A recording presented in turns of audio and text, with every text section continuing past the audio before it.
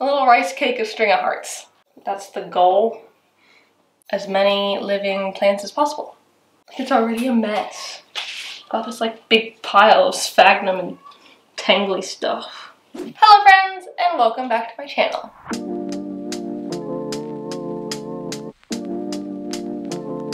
My name is Emma and today I'm going to be potting up my string of hearts. So this video was actually requested by Corey over on Patreon. Thank you Corey for the amazing suggestion. He wanted to see how I would pot up my propagations of my string of hearts because they've got such fine delicate roots. So I'm going to show you how I'm going to do that today. But basically, I propagated my string of hearts on the 21st of March 2021, so nearly four months ago now. And I took my plant and I chopped it all the way back to the to the soil. Like, I think it had maybe 10 or 12 strings, but they were all kind of leggy and they didn't look that great and it was like taller than me and I'm 5'9", and it was just huge. And we were about to get Cleo and I didn't want her to get to it, so I chopped it. I chopped it all the way and I tried a new propagation method. I tried the butterfly propagation method where you cut literally the little butterfly, so the two heart leaves that are coming out from the stem, cut on either side of that, and that's con considered a butterfly. And I stuck that on a sphagnum moss and just kept it in a little container and propagated it. And I've got one, two, three containers of that. Also, when I cropped it, the scraggly ends, stuck them in water because the leaves weren't big enough to butterfly. It's really hard to show you, but like I have a few of the strings that are shorter than the others on here these ones were the ones I stuck in water and then potted back in the main pot. But look how much it's grown in four months. Like, what the heck? Like, it's longer than my arm. Why? How? Anyways, string of hearts goes really freaking fast, which is great. But it's time to pot up my cuttings. And I'm not gonna pot them in the original pot because this pot's doing fine. I'm going to pot them a little bit differently. So I kept these all in different places in my flat. So this one I kept in the Ikea cabinet, um, but I kept forgetting to water it. So it's wet now because I watered it like yesterday, but it's not doing the hottest of all of them. It's quite small. I don't know, I don't think it likes the Ikea cabinet very much. I think it's probably too humid in there for it. This one I kept on my plant shelves. You can see the sphagnum is fully dry because I've let it dry out by accident. But this one's doing pretty well. I left this one with the top off and it was just chilling happy like this. This one is doing the best of all of them. And this one I had on my normal plant shelves, but at the beginning I put the lid on it and I let it sit like that so the sphagnum didn't dry out as fast as I think it did on the other ones. So these ones got really good starts and like have been growing super well. You can see it won't even stand up by itself anymore. They're ready to be potted up. It's, it's time. So they're doing really well. I'm going to be using a sort of succulenty soil mix for my string of hearts.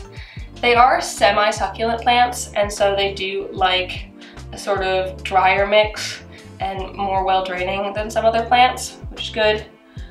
This is all I have of my succulent mix, so I need to mix up some more. So I got a tub.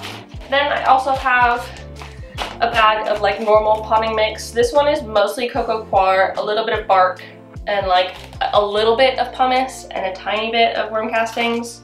So it's pretty average potting soil. So I'm gonna put that in. And then to add some extra drainage, I've got some sand and I think this is fine pumice.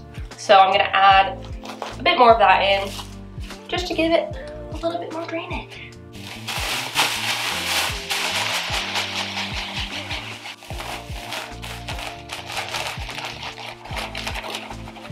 So this mix, it's about like, kind of just mixed itself together, but it's about two parts of the average potting soil one part pumice and one part sand.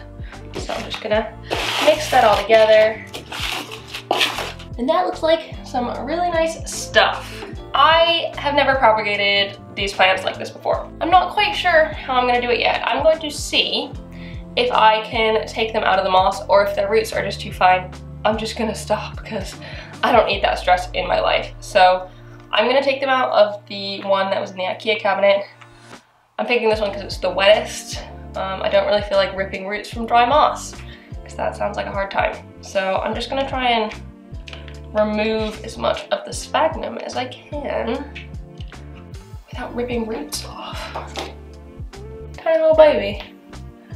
If I can get all of them into like just tiny little babies, I don't know. Like there, there's not that much root on there. There really isn't. Gonna do it, I'm just gonna do it. It'll be fine.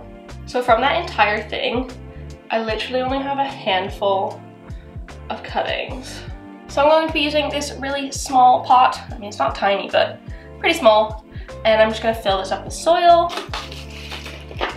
I've just filled it up all the way because the roots are so small on this, I don't think it'll be very difficult to put them in. So I'm just gonna like poke small holes with my finger and then plunk them in.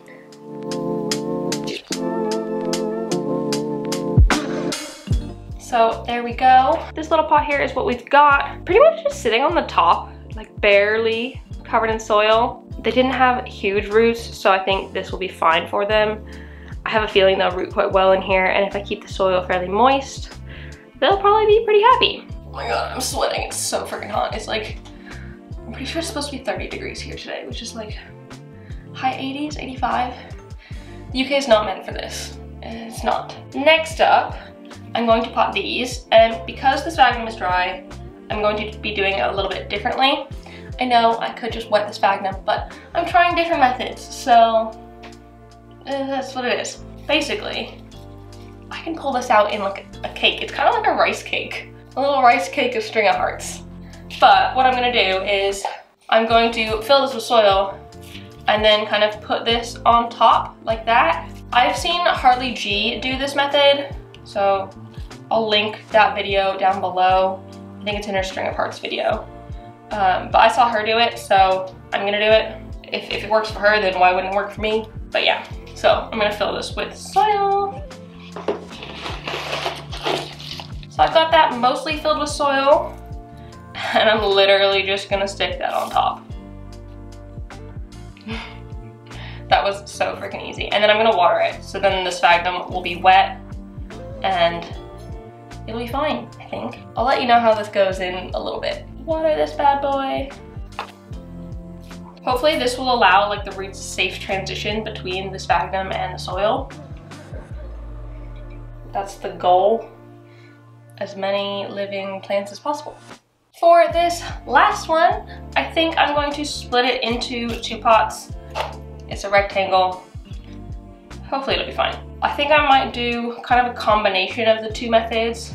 So I'm gonna try and take it out of this in like a chunk, but then divide it as needed. This one's like grown so much better than the others and I've gotten no idea why. Like this one's actually starting to grow tubers. There are the roots. Like they're just a lot longer and then the little bump is like the starting bit of a tuber, which is awesome. Maybe I'll do half of them with the sphagnum and then half of them pulling them out. Either way, soil.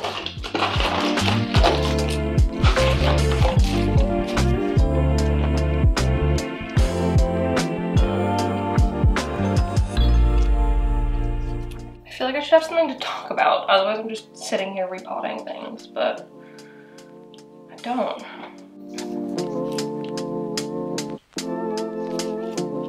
The annoying thing about string of hearts is they get so freaking tangled. Like, it's already a mess. All this like big pile of sphagnum and tangly stuff. This one's doing so well. Look how long it is. It's hard to see, but it's so long. I think these ones might have done the best because they have the biggest butterflies. This was the one that I kind of sorted first. And so it has like the best of the best. I think to answer Corey's question um, and like the reason behind this video is that like they've got super fine roots and they do. I think the answer is just be very careful and like be super gentle with them. There's no need to be harsh with them anyway. I think that's probably full enough. For now, me see, I might, like I said, do some with the sphagnum on, just because it makes my life easier. I think the sphagnum will also help keep the soil, like, or keep it moist for the beginning, which is super important. You don't want it to be getting too dry in your transitioning.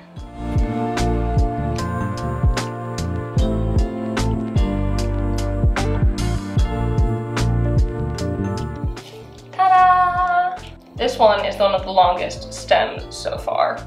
There are all my little new pots of string of hearts. I now have five plants if you include the original.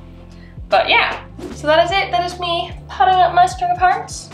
I really hope you enjoyed this video. If you did, please leave a thumbs up down below and comment on other houseplanty things you'd like me to talk about in the future, and subscribe for more. Also, have your say in my channel, head over to my Patreon. Thank you so much for watching, and I will see you next time.